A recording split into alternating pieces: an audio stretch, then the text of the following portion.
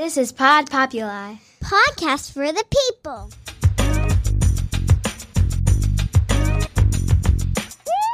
The Great Love Debate. It's the Great Love Debate. The Great Love Debate. It's the Great Love Debate. Hi again, everyone. It's Brian Howie. Welcome to the Great Love Debate, the world's number one dating and relationship podcast. Since 2015, I am back here in uh, the friendly confines of Santa Monica, California. I think I legally still live in Santa Monica, California. My driver's license says Santa Monica, California, but I have not been here in a long, long time. Um, I'm in a place called Tartine, which is a French word meaning tartine. Um, and you never knew who you're going to run into. Uh, there's a lot of famous and fabulous people. Somebody who has been asked about many times. She has not been on this podcast, uh, maybe in over a year, but she is why this podcast exists. She was a big time TV producer when she started producing this podcast, and she's still a big time TV producer, which is why she hasn't been on this podcast. The two time Emmy Award winning Keiko. Hey, hey, How are you? very well. Thank you for that. Have you been listening to the podcast? Are you a few behind? I, I, you know what? I gotta admit, I've been so busy that I did get a few behind, but I, uh, I live for it. So you know that. You're right, one of the Howie. most uh, positive people that I know, and uh, what I wanted to get into today, and I have an actual guest coming in today. Not that you're not an actual guest, two-time Emmy winning Keiko. Um, somebody the other day sent me an email saying that um, is it hard for somebody to date as a hopeless romantic? And I said, you know what? I've always been puzzled by the term hopeless romantic because hopeless is not a good word, but people who are described as hopeless romantic are sort of positively and, in, per, per- in perpetuity romantic. Um, you're a positive person. Would you describe yourself as a hopeless romantic, or would you describe yourself as I am a hopeful romantic? Definitely a hopeful romantic, but I got to tell you, Brian Howie, it is because of your incredible coaching over these years. Is this And- coaching that I'm doing? It's not. I don't know what it is. Maybe it's just me listening to you and saying, "Oh, wait a minute, that makes I'm sense." just offering loud opinion. Okay, your loud People can do have whatever helped me to they want with this information. Uh, let me rephrase it. Yeah. Your loud opinions have helped me to become hopeful. Well, there you go. So yes, thank you. Well, perhaps you will be the three-time award-winning Keiko by the next time we, we see you here. Yes, All right, go okay. about your busy right, TV thank you, life. it was good to Nice see to you, see you. and the Nice to listeners will be happy. So I'm going to bring in um, my guest here. She's covering up her food. I She's like she has a big plate of food here at Tartine, which, as I said, means tartine. Uh, it looks really good. I think you guys will be comfortable if she chews once in a while. That's fine. She's a podcaster herself. I believe she is a uh, somewhere between a hopeless and a hopeful romantic. She's got a lot to talk about. She's the host of the You're Such a Catch podcast. Erin Ramsey, how are you? Oh, I'm so happy to be here. This is so lovely. I It's just mean, lovely here at This is lovely. And yeah. like, what are the chances that this like happened? Like, Yeah, this I want to. See, I recorded here connection. once before. Oh, I always have? want to Okay. record face to face with people, uh, and I don't It's have a studio better. here anymore. I used to have a studio here, so I'm like, you know what? I'm just going to sit among the people and let them look at us, saying, "What are those people talking about?" Yeah, what on earth are they talking about? We're talking about love. So you're such a catch. I imagine um, started as second person and moved to first person. Does that make sense? Meaning, it's something I believe that somebody said to you. Mm-hmm. Backhanded compliment. It's sort of like I talked about on this last podcast. When when somebody says, um, "Why are you still single?" I think it's a compliment. I think people don't say that of people that don't seem undesirable. Same with "You're such a catch," but Mm-hmm. Yes. when they say that, there's always a catch. Right? Th- That's true. So you somehow took ownership of that. did. Tell me what that means. So what would happen is exactly what you just said. So people would say, "Oh my gosh, Erin, you're so fun. Like you're so funny. You're pretty. You're smart." And then you go, "Why are you still single? You're such a catch." And you know what? It stuck. And here we are. And I thought, well, let me get to the bottom of this. Why am I such a catch and still single? So I've been on a journey to, To- kind of figure that out. To figure that out. And Mm-hmm. the journey always, I think, as we've said ad infinitum on this podcast, it's never that you haven't met the right person. It's almost that you haven't been the right person. Mm. and people go, oh my God, that's terrible. What are you saying? And I'm like, well, once you take ownership of your dating fate and the outcome, I think that's a lot easier way to date. it's a lot easier saying that I have some control over this, Mm-hmm. and and that's sort of the hopeful part of it. It's like if I'm in control and I take the steps and I do the work and I do all that, there should be a positive outcome to that. Mm-hmm. Yeah. It's not just waiting around for the right person to call. It's not uh, you know misguided fantasies with Prince Charming and everything. it's somehow like you know what. I am such a catch, and let me try and solve the puzzle for myself. Yeah. that make sense? Yeah, but it wasn't as easy to come. You know, you just kind of summed it up in about forty-five seconds. Well, I've been doing this podcast a long time. Trust me. If we go back to the This was files, like it wasn't always like that. years that. And years of, um, you know, uh, years and years of me trying to really figure it out. So I'm divorced. Okay. And Welcome back. Thank you. Okay. Um, but it's been a long time, so it almost doesn't even feel as if that was part of my life. If that makes any sort of Yeah, I hear that a lot. So you went into marriage thinking you were fully capable of, of this. This was it. Did you were you like a happily ever after, or you're like uh, we've been dating and I think it's time to get married? I think that's what it was. It, you know, I was I was young and we had been dating for about four years, and all of our friends were getting married and they were starting to have families, and we were, you know, the only ones who hadn't taken that next leap. And so, I don't know, we weren't in a position to break up. There was nothing, you know. That's another thing. People before people say you're such a catch. Another thing they say is when are you two gonna get married? And it oh, gets into yeah. your brain. right? And then you know when we were married, then when are you going to have kids? Babies, And yes. exactly. It's like you're It's never okay in the present moment. Yeah. you know. So yeah, so uh, we dated for four years. We're married for three, and then one day I came home from work, and he said, "Never forget it." He said, um, "I don't want to be married, and I don't want to have children." And I said, "Well, isn't this funny? Because I'm your wife, and you have a child." Because he had gotten, you know, a girlfriend when he was younger, Okay. pregnant. Yeah. So, you know, that didn't that plan that So he the had two things that he had, he didn't want. right. And so I think I had uh, a very outer body experience, and I'm typically um, call myself a recovering people pleaser. Mm-hmm. But in that moment, I took it as an out, and I said, "Okay, then what are we doing here?" Sorry, that's a buzz saw in the background. Hopefully that won't pick up on the mic. So if you're gonna, that's literally like I think it's called a buzz saw. Um, I feel like it's appropriate. It is. So that was a, that was that was not a sound effect that we put in to talk about the end of Erin's marriage. so we dubbed that in. Keiko, did you put in a sound effect? oh my Um, gosh. one to ten, how shocked were you? Um, I mean, uh, mm, I, that's a very good question. Um, if I put myself back there, I mean, maybe like a seven. Okay. Yeah, uh, maybe maybe a seven. Yeah. Um, so the thing I had to work through is my grandparents were married 74 years Mm-hmm. until my grandpa passed, or else they'd still be married. Like my grandma's still, you know, Right. here. She'll be 98 next month. Jeez. Parents just celebrated their 46th wedding anniversary. Yeah. Aunt and uncles, both sides, still married. Yeah. So I was the first person in our family to get the D word. Well, well, I, I doubt that. I think I set myself up for that one. I doubt that somehow they were parents and grandparents. yeah. Um, so, uh, yeah, the other D word, the big old Yeah. divorce. Yeah. Um, well, as I've said on this podcast before, my parents have been married about 50 years. I don't even think they like each other. So I don't know if that's an Oh. example either. You know, that's funny that Sometimes a different that. Mm-hmm. generation, people stay together out of habit or they don't want to be the first to get divorced. Sure. So yeah. props well, to I, you. I took that. Yeah. you know, know. it's a different time. Um, it, it takes a lot of guts to get out of a bad relationship, and it takes a, a lot of work to get into a good one. Like it, it works both sides. So, do you try and talk him out of this?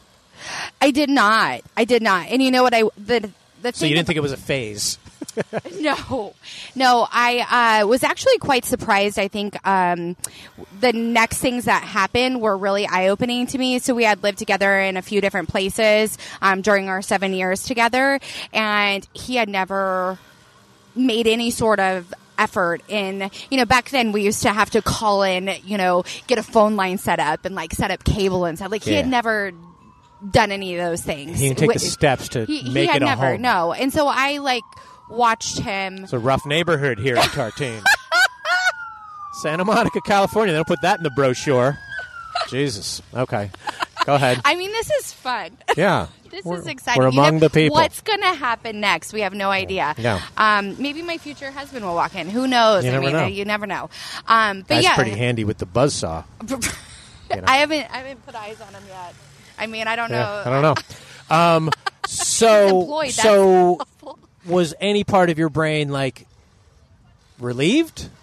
I, th- I think Because you're you're very lucky. Not props to him, but uh, in a little bit, good thing he did that, and not two kids and eight years Yeah. into it. You know that he did it before, and he. That's probably a hard conversation for anybody to to have and to admit and to come home and say that. right. You right. know, I mean, yeah, you probably should have said it he- before you got married, but Thank you. Yeah. I mean, but it's okay. I mean, it's part of my story now, and it's and Yeah, it's you have a story to tell. Right, right. I, I do. Yeah, it's, it's just a fraction of it, but um, yeah. I mean, of course, like it, it was a little bit of relief. So through my work on myself and like this healing process and even having my podcast i mean i think the thing that i've come to realize is he really did me a favor and he gave me a second shot at Right. love and at life Right. because i probably wouldn't be sitting here now with you Right. if i was still married and no, especially he'd probably be mad. he probably would or Right. jealous Yeah.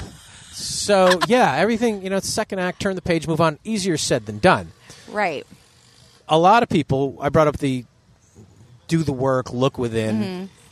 The fine line and the challenge with all that is making yourself so self-reliant, self-satisfied, Mm-hmm. independent that you lose the drive to bring in somebody else where Mm. where you find the self-love and you find the contentment and you have your group of girlfriends and everything's good that you're like I, I didn't leave space for an outsider because I'm trying to close all the walls down myself Yeah. is that a challenge For sure. I mean, you know, you almost overcorrect, right? Right. So immediately after, there was this common theme of don't make the same mistake twice, right?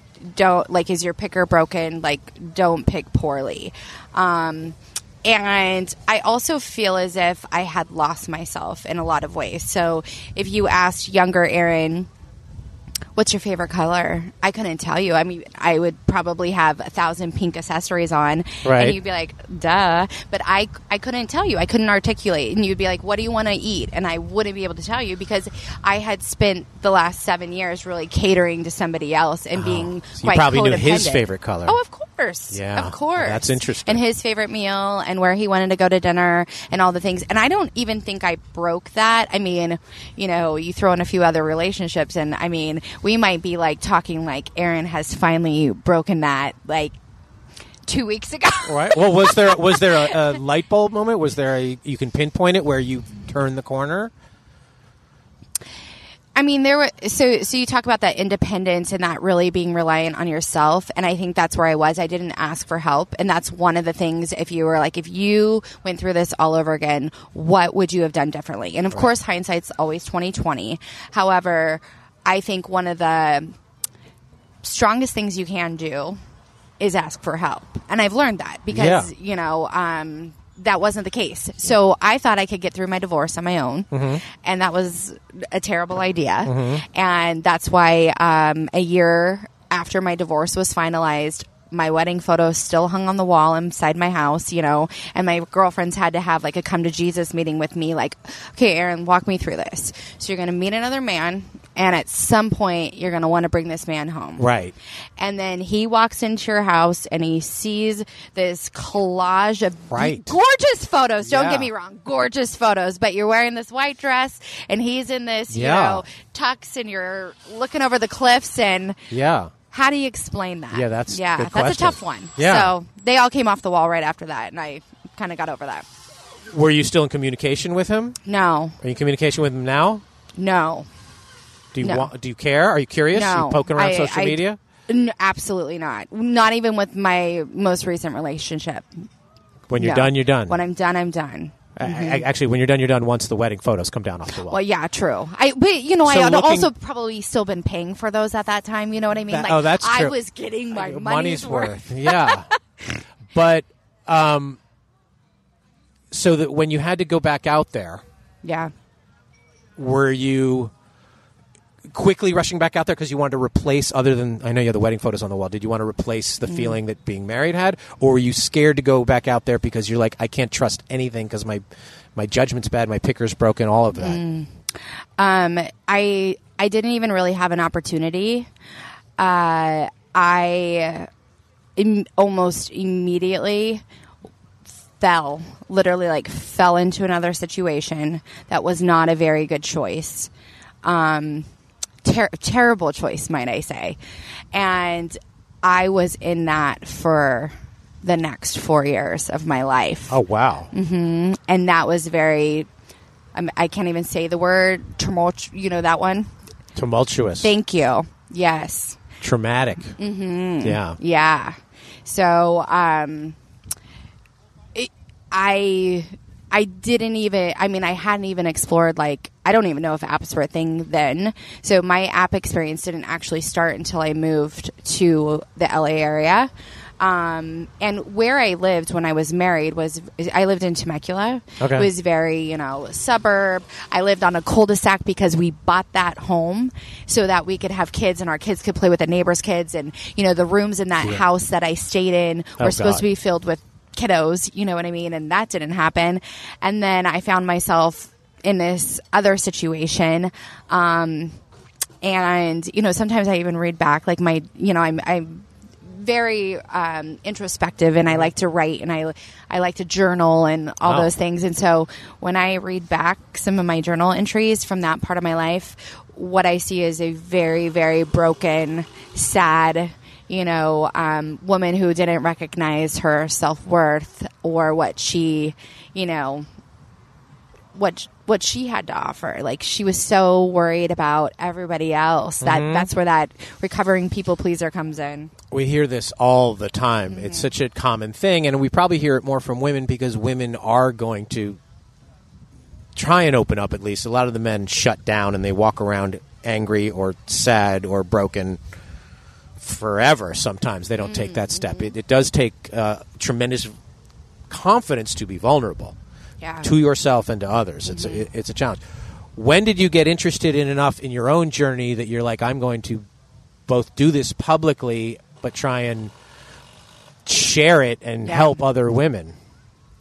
Yeah, that would have been um, in 2019. So in 2019 and a little bit before that, I had I'd moved to the South Bay in 2015 as a means to um, leave that other situation. And you know, my my dad gave me some really solid advice. He says, you know, you never run away from something. But it's fine if you want to run towards something. Right. And so I, you know, took that to heart and I worked with my mentor I had at the time, like my professional mentor, and he helped me really manifest this job that brought me here. Um, but then it was like a whole new world, right? Because the apps and I was in this new environment and I felt like it was a younger crowd and oh my gosh, like this is my opportunity. And I still thought the answer to finding, you know, the right person for me was outside of me. But that wasn't it, you know, and it probably wasn't until a season into my podcast after I had had on a bunch of dating and relationship experts and coaches that, you know, sometimes someone would- give me really solid advice. I, I mean, I was basically Right. getting like free coaching, right? Right. By having people on my show and, but also like sharing it Right. with everybody else. But, you know, then sometimes people would give me some advice and I think to myself, oh God, you know, like, like I don't agree with that, you Right. know? And I had um, gone through an experience too where, uh, which is probably a story for another day, but I had hired a matchmaker for some time. Because again, you know, everybody, oh my gosh, Erin, you're so wonderful. Right. You're so great. Why are you still single? Right.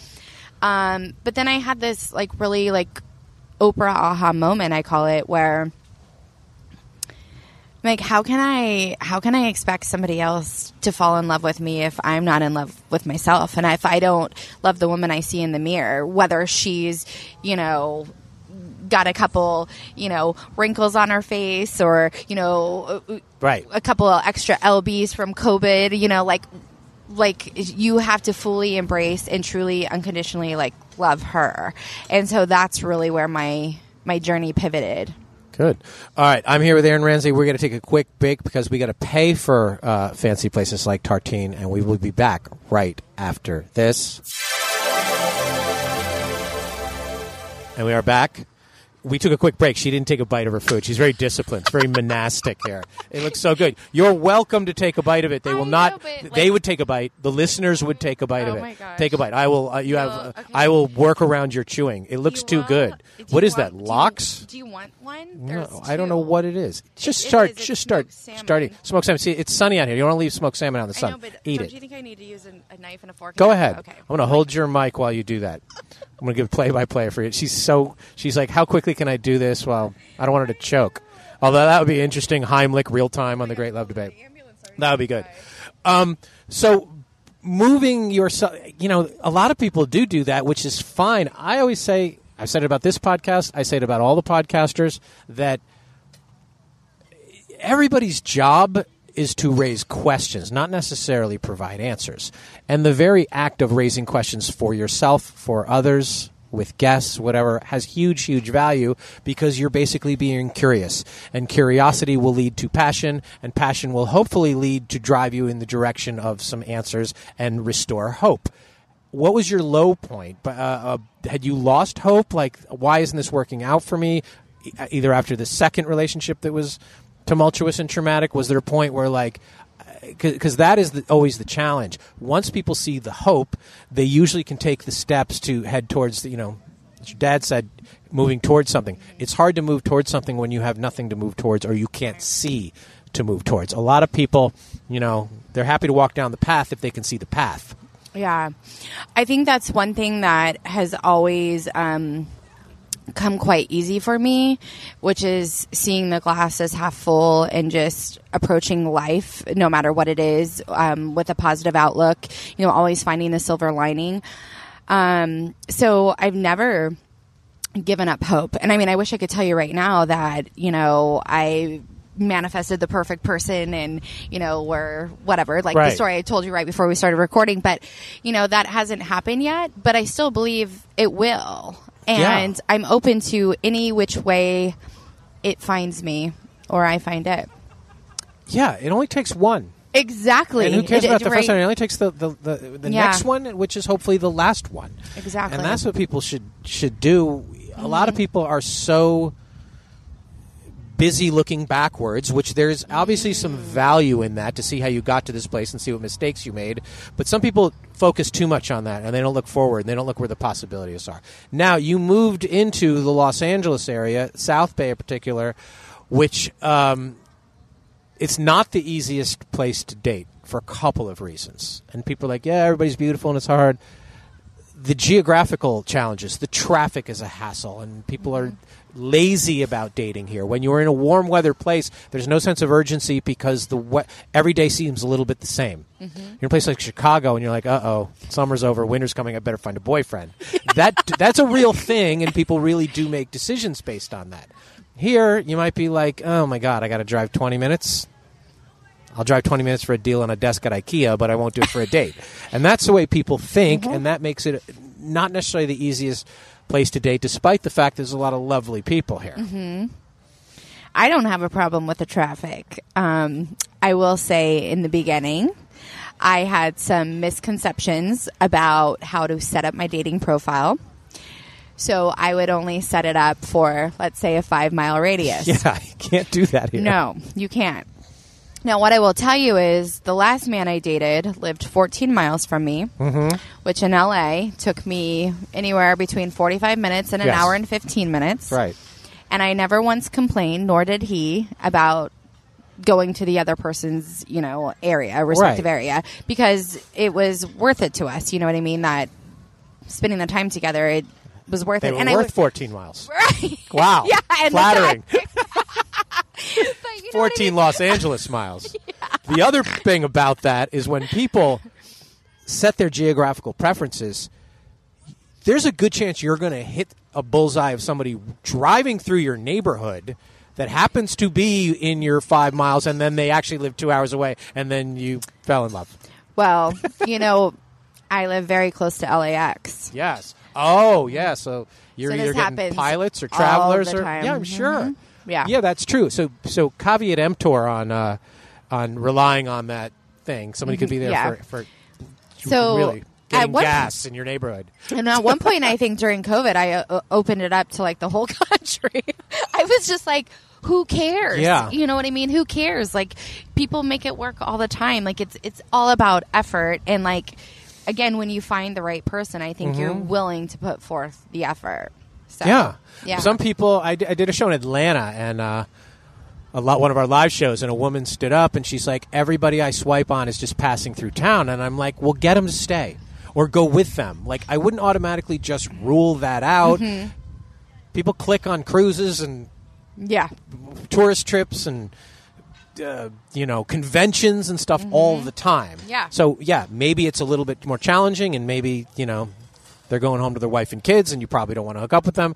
but there are possibilities, and to just rule it out like, oh no, I live in Atlanta and, and they Right. live in Dallas. Well, Yeah.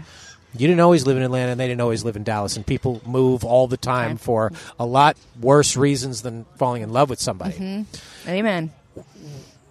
the podcast. So Yeah. Mm-hmm. you decided, like, I'm going to talk about this. Sort of doing the work out loud in real time.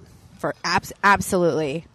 You can see Did the people growth. say to you, like, why are you doing this? Did you have a lot of naysayers? Or people are like, why are you. Don't you have to f- have all the answers first? Because trust me, we hear everything around here. Oh, we do, yeah. I mean, probably the only person who was a little concerned was my mother. you Oh. know, like, like Erin, should you be doing this? Should you be really like Does she listen? every single episode? Every single episode, hmm and I try really to be um, cognizant, not to um, withhold or not to like, you know, keep certain details out because I know that. Right. Um, I think if anything, this has been a good lesson in you know you're who you are, and I want to be authentic to that. And if my mom doesn't like something, like you know, she's still gonna love me. I mean, she's my mother. You know what I mean?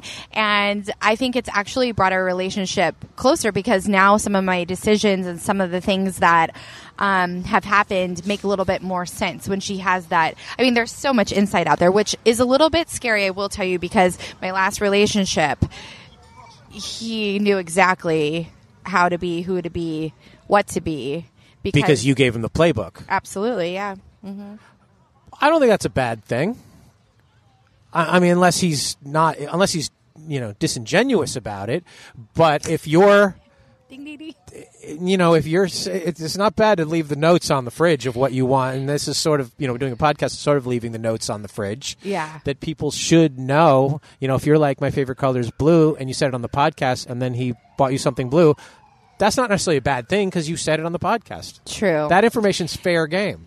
I agree with that. and I think so. The only thing that I learned through this, though, is me sharing like my list of what I want, you know, and I'm giving to the universe to deliver to me, Okay. wrapped in a bow. It's easy for somebody to kind of step in and know exactly who to be, how to act, what things to kind of. Isn't that e- that seems easier? But if that's not their genuine, authentic self, so what if he's trying if if you're like listen i like a man who wears i'm looking for a man who wears tuxedos all the time and then he Mm-hmm. wore a tuxedo all the time even though he'd never worn a tuxedo in his life is that a bad thing No, but it's when he stops wearing the tuxedo because he never wanted to wear it in the first place. oh so he he did He- enough to get the job Uh huh. And then was like, Yeah, okay, revert bad. back to. oh that could happen anyway Mm-hmm. Yeah. yeah well in the first uh, you know 60 days of dating somebody you're really only out with their publicist True. you yeah. know. and I'm trying to get quicker about that. Yeah, you gotta know get what a I mean? I'm trying to get a little that. bit quicker. And you know, when I see a pink flag, I'm going to be like, okay, there's a pink flag. And then I when I, see the red flag, I think the more open somebody is with what is wrong with it, like the more aware of they are, and they're like, you know what, I'm I'm probably gonna I'm late a lot. I'm trying to Oh, work I on it. that, yeah, yeah. Mm-hmm. but a lot of people are so afraid to. Oh, They're like, well, maybe if she'll never notice if I don't say anything. You know, Mm-hmm. it's a fine line for everybody to be. You know, or if somebody's like, I always date this type of guy, and then they're going to be, you know, they're either going to be that kind of guy or the opposite of that kind of guy. true. Everybody's just flailing in the ocean here. I don't know. I, it's amazing we ever get together at all. Um, the most interesting thing you've learned through having these conversations publicly, either about yourself or about the dating universe.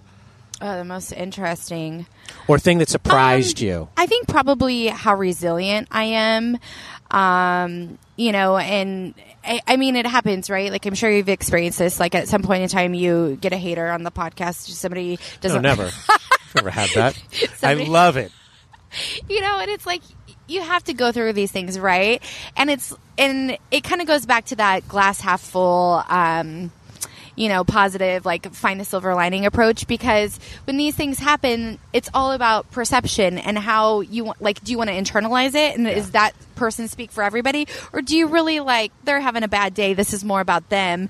And you Listen, just if I kinda it- moved you enough that you're going to fire off a 200 word email to me, good. good job. Very happy with that. Yeah, I don't care. I mean, it's the same in dating, right? Yeah. you know you're going to get rejection. You're going to have people who ghost you. You're going to have people who um, you know you go out on a you you have two or three fantastic dates and then all of a sudden you know whatever happens and you're not their person and you're like whoa you know it takes t- takes the um, knocks the wind out of your You're- sails a little bit. You're right, and uh, you know we are in the heart of uh, La La Land here, and and one of the things that the very best actors and actresses that I know that helps them turn the corner in their career is when they realize that if they didn't get the part, it doesn't mean that they weren't talented. Mm-hmm. It just means they weren't necessarily right for the part. Yeah. And that is really hard when you hear rejection and and Hollywood is full of rejection. It's where no happens for everybody. And you kept hearing nope, nope, we'll call you. Thank you, mm-hmm. thank you. It's really really hard to still believe in your ability and believe in your talent. When the actors and actresses turn the corner and it was and they're like it just wasn't a fit. And that can go the same thing for having a job interview where you go for a job and you didn't get it, well, you just weren't a fit. And same with a relationship where you might have thought it was a fit, and if they're three dates in, they decide you're not, good. yeah That is a lot easier than 10 years and two kids amen and, they, and a mortgage, and they come home and they're like, you know what, this wasn't Yeah. a fit. On to the next. And there is always a next. Um, and you got to believe that. Like, the the you went on somebody a date with somebody, it was awesome for three dates, and then you're like, oh my God, this was the one that didn't work out. It wasn't the one. wasn't the one. I agree. And you know, um, after I got out of my last relationship, because I did believe that he was the end game, uh, I divinely met this woman. You know, like kind of how you and I are sitting here, just things happen exactly how they're supposed to. And she told me about the parable um, with like your plastic set of pearls. Just basically, like if you continue to cling on to your plastic set, you know, the universe or God or whatever you believe in can't deliver you the genuine The real pearls. right? Yeah. And I took that to heart and really started examining not just in love and relationships, but like other areas of my life. Like, where am I clinging to my plastic set of pearls? And Right. why am I clinging to this plastic set and not opening myself up for what's truly could literally be right in front of me because Right. I'm so fixated on whatever it is. And I've really tried to, you know, examine that in situations. So if I do go on three dates and the guy's like, bye, Felicia, for me, then it's like, okay. Don't cling on to it for another two weeks, Erin. Like, you know, feel the emotions, allow yourself to feel because Right. I do believe in that. Right. Process through that and then let it go because your genuine set is still out there. And the longer you cling, You're right. So don't dismiss the experience Mm-hmm. or the opportunity. Appreciate the opportunity. Didn't work out, and then move on for it and recognize there's Yeah. another opportunity. and I'm sure there's a lesson in there because I every relationship I've ever been in, Mm-hmm. there's one lesson, if not more. I mean, you know, the the the very um, super introverted me does not learn these lessons the way I should, but people who are who value every conversation and every interaction and think, what can I I learn from these people? The people who talk to the Uber driver, not me. I'm like, please don't talk to me. How is the this a thing? The people who you don't. Oh my god! I wish there was a default setting where it's like, "Don't talk to me."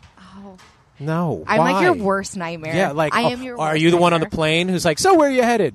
Yeah, and then we're best friends, and ten No, years from now, we're like meeting in like No, Cancun. your way is right. I'm totally wrong. I get that, but I will take the stairs rather than risk being in the elevator with somebody because they That's might talk so to me. funny. Yeah, it's not a healthy way to live at all. The the people I know who who derive the most from every day, every situation, every encounter are the people that are fearless in their encounters, and they are mm-hmm. like. I'm glad this person is sitting next to me. I Mm-hmm. want to pull up a chair. I love the communal tables. This place have a communal table? Probably does. Worst nightmare. I'm like, oh my gosh, god. that's so funny. That's like my favorite pastime. Right, your way is right. So I'm aware of that, and I'm aware it's something that that there's there's work to do. Um, you know, I've had businesses where I'm like, I hope nobody comes in. That's a bad business. Right. You should want people to come into your business and yeah. come in. So yeah, that's me recognizing that that's bad, and the people like you, the Uber drivers, like, how was your day? Good for them. Yeah. Uber drivers out there don't ever say that to me, but I, I realize that, that you're right. I will fake my headphones all day long. Um, but learning from an encounter and being positive Yeah. about it and looking forward to it, i i you know, that's a really good thing. But and you have to turn the corner. Going through that experience, the multiple experiences that you went through, the scar tissue is actually healing in a way. Mm-hmm. It does make you stronger and it does do things. But in the moment, that's tough to tell somebody. Yeah. No, it is. It Yeah. is. Um, so, but when you remain open, like I'll give you an example of what happened last night. So last night, um, my friend and I went out to dinner, and we were down in San Diego, and we didn't make a reservation because why would we plan ahead? I mean, who are we? And you know, we could sit at the bar freely. So we thought, well, that'll great idea, right? And he and I, he's more of an introvert, eh, but through me, he'll open up and have conversations. Right. And everybody's my best friend after two minutes. So, Okay. um, so we sat at the bar upstairs and immediately befriended the bartender, who was fantastic. Like, got his number. Was like, I am throwing a party just so you can come and like be the Work? bartender, right? Oh. But I'm to have a party. You want to come mow my lawn? Yeah, that's not good for him. Oh my god, he was all Oh, about okay. it. He was all about it. But um, at one point, you know, and I'm I like to be super present, so you know, my phone's not out or anything like that. I'm talking to my friend, uh, looking to my right, and he goes, "I think your husband just walked in and sat at the bar, and I uh, like you know a few seats down." And so I casually, you know, did one of these and looked over and I was like, oh, he very well could have, you know? Yeah. And so then the next things that happen are just, you know, you, you have, I find them humorous, but like, I don't find them coincidental. Okay. You like, went and spilled a drink on him? no, a good no, no, no, no, no. But like you know, a group of women came up and they had had a few, and they were kind of bothering him, and so he scooted over next to me. Mhm. Okay. And so then it became, you know, like a conversation, you know, like back and forth between both guys, and you know. I mean, before I knew it, I knew his like political views. I knew, you know, uh, a lot about how his upbringing and his family, all the things, right? He was not from this area. He was from up north. Uh-huh. And um, I thought, wow, you know, like it, all it takes is one. And who knows? And then you hired him to check coats at your party? no, I didn't. Did you get his phone number? Did you get your phone number? So here's the thing, and I would love your take on this. So obviously, great time. Um, at one point, I did have the bartender take a selfie with all of us, including the bartender, because I loved him that much, Right. and um, didn't want. I wanted to remember that moment in like its mm, beauty, right. and so he asked me to airdrop it to him.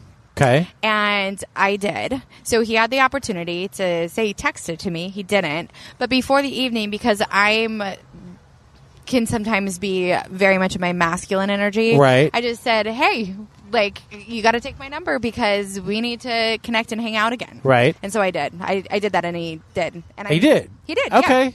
So you didn't say give me your number. You said you need to take my number. I That's, did, That's yeah. fine. Okay. Yeah. And I need to text So him back, airdropping so. doesn't share the phone DNA. Can't track. No, it just it just adds that photo of us into his camera roll. Yeah.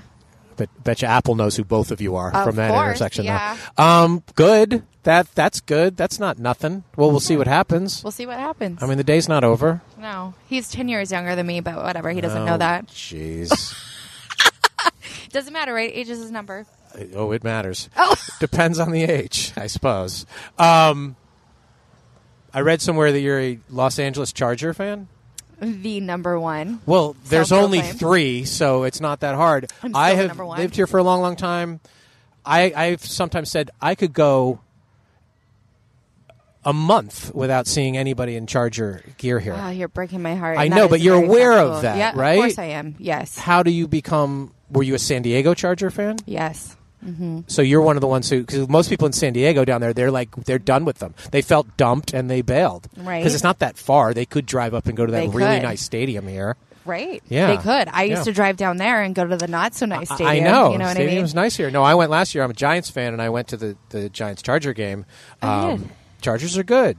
But- so but you're not you're well you're not you. you're not bandwagon No. you know but no, I'm but, a travel with the team kind of gal. but there are yeah I like that too but there you know there's 32 NFL teams you will probably see 29 jerseys of other teams before you will see a Charger jersey which is is- weird in this town it must make them um, and even when you're there it's weird that the other team has more fans yeah, I think I've just come to recognize that that's a circumstance I cannot control. Yeah. And um, so here's something about me too, which I think is a great quality. I'm very loyal.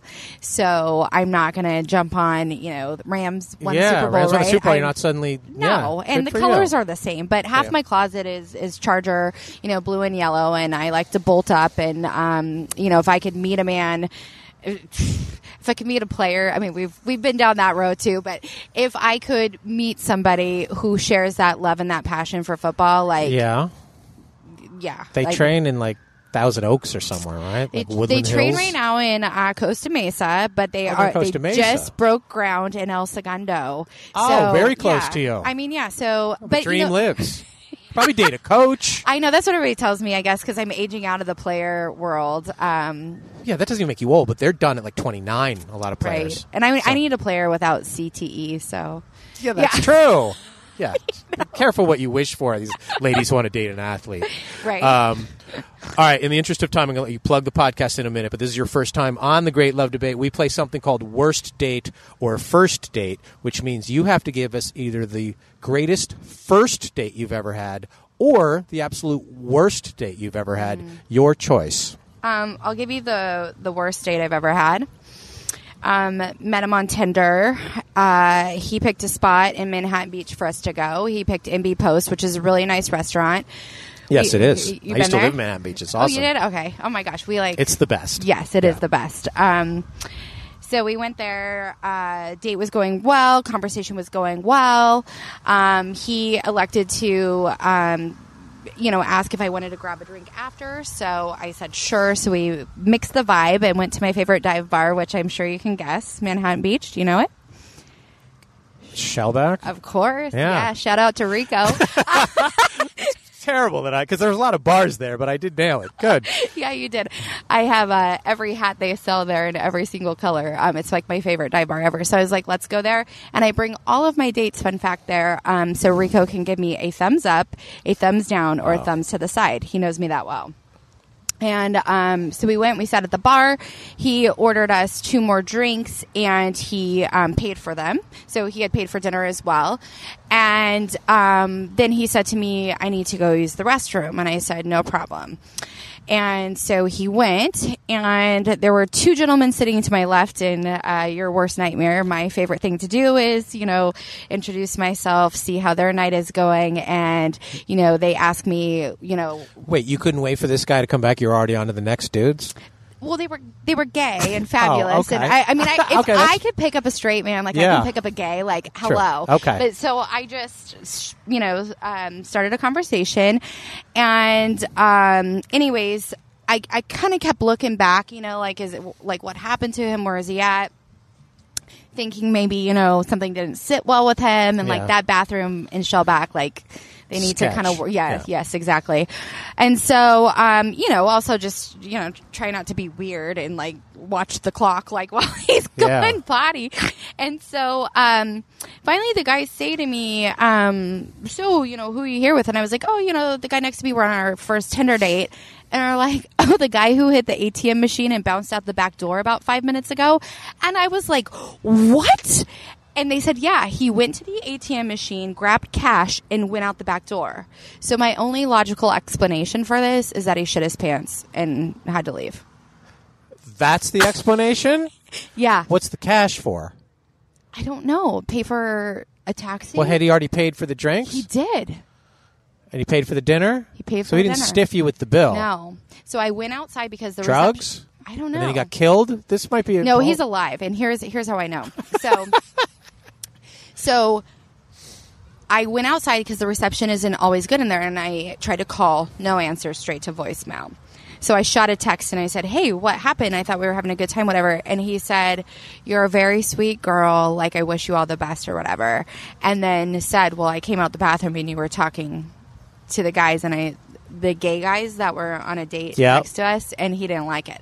So that's fine. He's not my person, right? You let him go. Funny enough, I get some sort of, you know how like sometimes we subscribe to things where you get like pinged on dating and relationship stuff. So one day I open my phone and I get pinged on this little article and lo and behold this woman has reviewed three men on different apps that she's met and gone out with. He was one of them. She had met him. It was the same profile picture, everything. She had met him on JDate. Yeah. which- yes. And um, had very similar sentiments as I did about the date. I won't say what she wrote, but I'll send it to you so you can read it. She read put his picture on there. she did. It was in Pop Pop Sugar or something like that. Is yeah. that okay? I don't know if that's okay. I don't know if that's okay either, but she did. I have a lot of questions. Please get this guy on the phone. I don't know what happened. I don't want to know what the cash was for. Me too. Because he risked you seeing him get cash, like go to the but I- ATM. yeah, and I did kept. I'm telling you, I kept looking back, but then I also was like, you know, we've all had a situation in which you know we might have had a little gurgle in our belly, and like if you're on a first date with somebody, Better eat that salmon.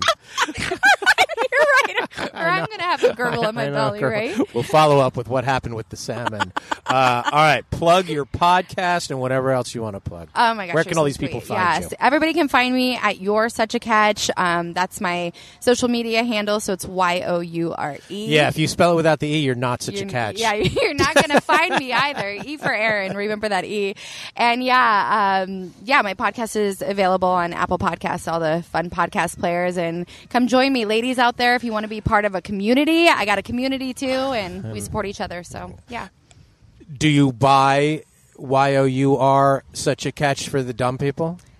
I don't, but I probably should. Yeah, Redirect I it. should. That's a yeah. good tip for Thank you. you. That's solid business advice. I appreciate that. You always gotta you always gotta uh, account for the misspellings. Amen. or somebody Yes. who Googles it wrong, it's going to come up. Uh, this was fun. Thank you for doing this. Thank you wherever the uh, two-time Emmy award-winning Keiko blew in and blew out of here. She's very busy, apparently, winning Emmys. Um, as far as us, as always, like, share, follow. Please review this podcast. Your reviews mean a lot in the podcasting ecosystem. Shoot us an email, greatlovedebate at gmail.com. Questions, comments, thoughts, or uh, please surmise what exactly happened with Erin's date. We'll do that. Check out our live tour schedule, greatlovedebate at gmail.com. I don't know what shows I have on there. Probably doing the Great Love Boat, so you could see the information on there. I do owe some places a show. I owe Boston, Massachusetts, uh, show at City Winery. They are calling. It'll probably get back on the calendar at some point. Because, as always, at the Great Love Debate, we never stop making love. See you next time. Love Debate. It's the Great Love Debate. The Great Love Debate. It's the Great Love Debate.